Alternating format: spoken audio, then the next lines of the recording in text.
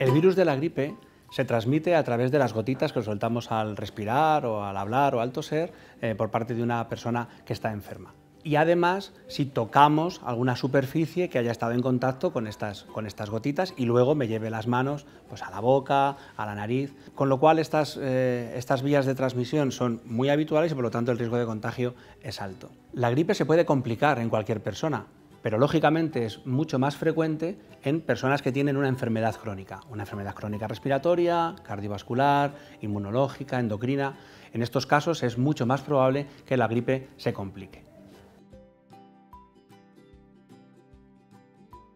El hecho de estar vacunado de la gripe obviamente me reduce las posibilidades de, que se complique, pero es que además si tengo la mala suerte de coinfectarme con coronavirus,